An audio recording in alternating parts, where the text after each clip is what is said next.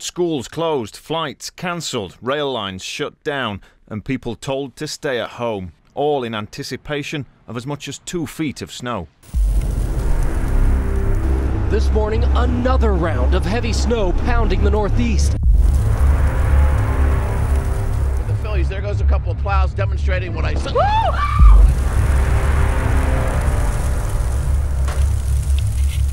Here's that headline. Here we go again.